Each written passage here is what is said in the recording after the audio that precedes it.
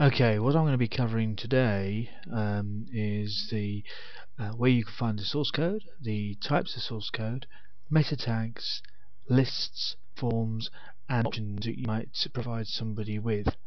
Um, these are fairly clear um, and concise sections of the source code that you're going to find behind the site. The site I'm looking at in this particular instance you'll see is gtalk to VoIP. The source code can be found in this location. By going to source code you'll find that the script will come up from the um, aspects of the coding in front of us.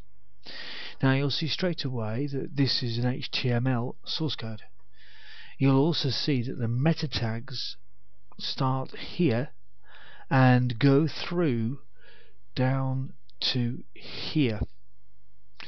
Now the reason why this is important is this will attract search engines and will lead a user to find this, say for example on Google or any other search engine, they may well find that this site is highlighted by the search engine because of the meta tag description. More people are beginning to actually accept keywords um, and uh, they're trying to accept keywords etc as part of the search facility. So the keywords are important. We're going to look at our next section which is lists. Now you can see here we have a series of lists. Lists that may well be relevant to the um, aspect that we're looking at. So we've covered the source code, the type of source code, we've looked at meta tags. So we now know that we can have a variety of information within our um, data uh, available to us. And as I scroll down here we've found we've just gone past one aspect I'll come back to as an extra for you. But you can see that we have quite a lot of information here and we have lists incoming calls to your IM for any phone, um, a whole series of different forms of lists. And they are going to relate to lists like that there. So as I look further down the screen I can also or further up the screen rather I can also find um, incoming calls from any phone receiving calls and we have here the list section that relates to here.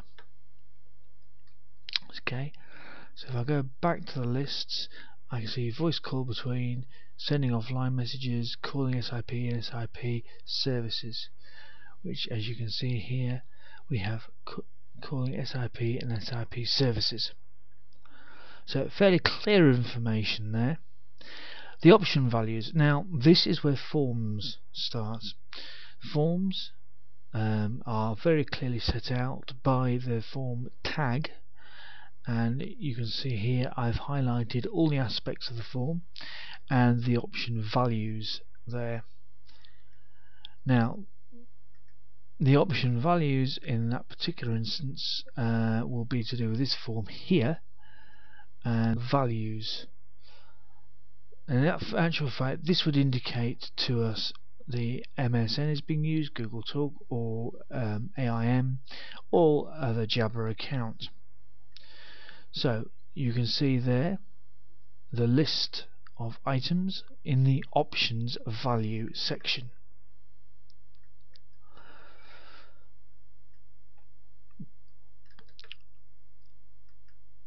So we've looked at forms and we've looked at options. These are a series of different aspects of the information that you will find on the website. All clearly indicated for us um, and the fact that you have the email option there invite yes that will send to this uh, the provider and you also have the option to unsubscribe and that's within the form section. If you want to look through the video again um, you, would see that information uh, clearly provided. I hope this has been of some use. I know I found source coding fascinating when I first started off uh, and this is just a small aspect of many of the different parts of source coding Thank you for taking the time to watch this video. Uh, my name is John Fairest. It's been a pleasure uh, sharing with you um, all the aspects of source coding. I will just add on the bottom of here